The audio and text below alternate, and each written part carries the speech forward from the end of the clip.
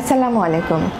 আমি doctor Noor Babusha Jahan, Bangabandhu Sheikh Mujib medical ইউনিভার্সিটিতে consultant হিসেবে কর্মরত আছি রিপ্রোডাক্টিভ এন্ডোক্রাইনোলজি অ্যান্ড ইনফার্টিলিটি ডিপার্টমেন্টে আজকের ভিডিওর উদ্দেশ্য হচ্ছে, আমাকে অনেকেই কোশ্চেন করেছেন যে কখন সহবাস করলে গর্ভধারণ হয় এবং কখন সহবাস করলে গর্ভধারণ হয় না।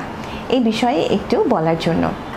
আসলে সাধারণত আমরা বলে থাকি যে গর্ভধারণের যে পিরিয়ডটা সেটা হচ্ছে মাসিকের দশতম দিন থেকে বিশতম দিন। অর্থাৎ যাদের নিয়মিত মাসিক হয়।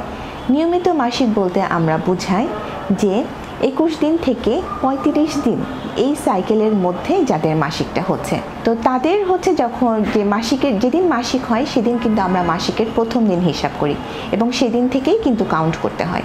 তো সেই হিসাবে কাউন্ট করলে মাসিকের দশতম দিন থেকে বিশতম দিন এই সময় মেয়েদের যে ডিম্বাশয় আছে, সেই ডিম্বাশয় থেকে ডিমটা ফোটে এবং নাইনটি থেকে নাইনটি ফাইভ পার্সেন্ট সময়ই এই সময় ওভুলেশনটা হয়। যার ফলে যদি এই সময় সহবাস করা হয়, তখন কিন্তু গর্ভধারণের চান্সটা অনেক বেশি। তাহলে কখন গর্ভধারণের চান্সটা একেবারেই নাই?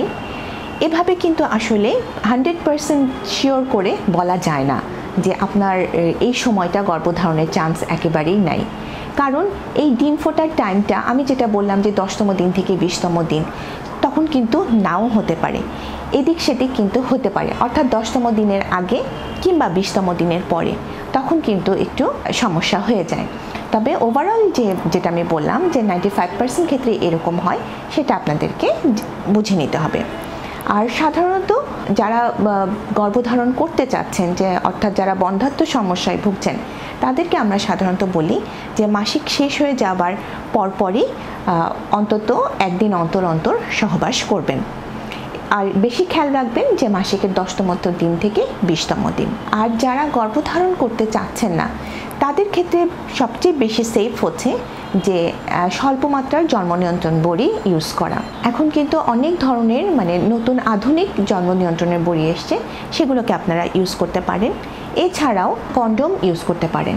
সেটাও কিন্তু যদিও কন্ডোমটা আমরা হান্ড্রেড পার্সেন্ট ক্ষেত্রে সিওরিটি দিই না, তারপরেও এটা কিন্তু ব্যবহার করতে পারেন। ধন্যবাদ।